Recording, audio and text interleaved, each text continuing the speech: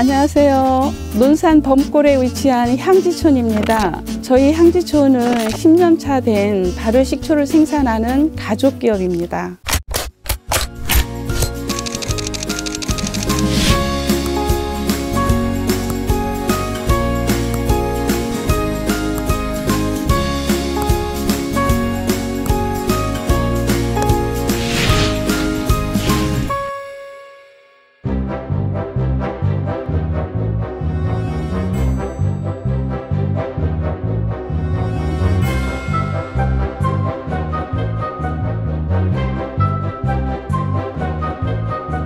논산 딸기를 이용해서 발효식초를 만드는 과정을 하는 건데요.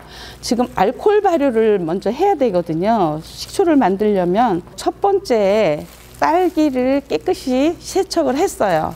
그 다음에 꼭지를 딴 다음에요. 딸기 와인을 만드는 과정을 할 거거든요.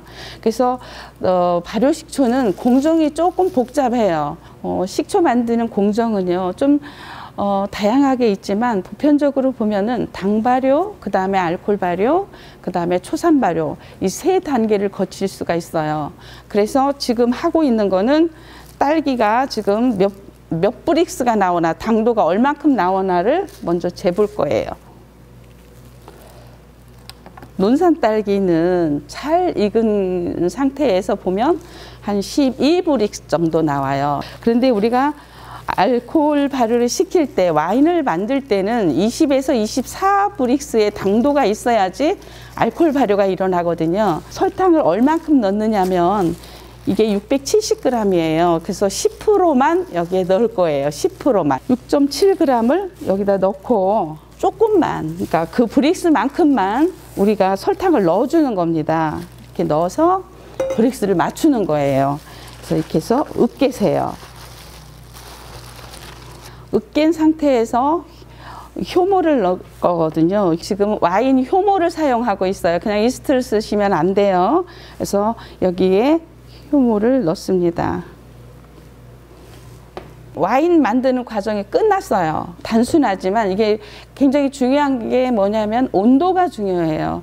이렇게 해서 25도에서 우리가 25일 정도 와인을 만듭니다.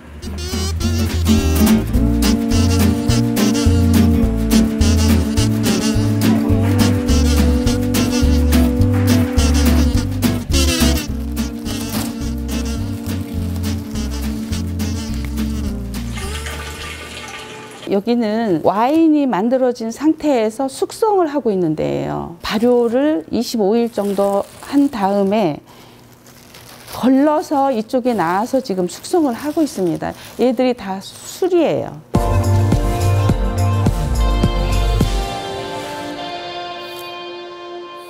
딸기 식초에는 엽산이 풍부하고 어, 항산화 작용을 하는 안토시아닌이 많이 들어있어요. 그래서 면역력에도 좋고요.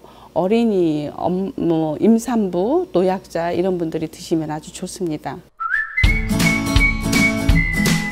여기는 초산 발효실이에요. 식초를 만드는 곳입니다.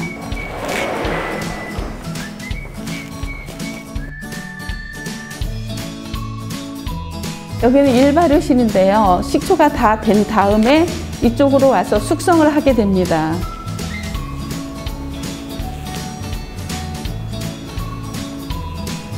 여기는 숙성실이고요.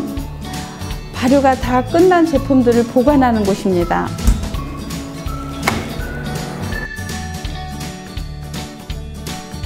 건강을 선물하는 발효식초를 생산하는 저희 향지초는 6차 산업인증과 유기농인증, 햇섭인증을 통해 더욱 신뢰받는 가족기업으로 창업기술교육과 교육농장 운영을 통해 기술을 보급하고 있습니다.